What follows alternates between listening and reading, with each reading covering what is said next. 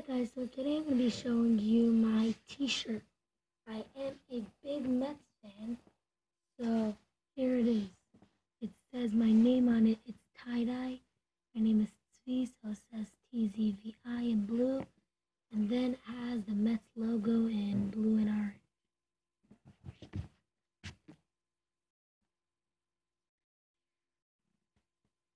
And then my name. So that's pretty cool. And subscribe because it's cool.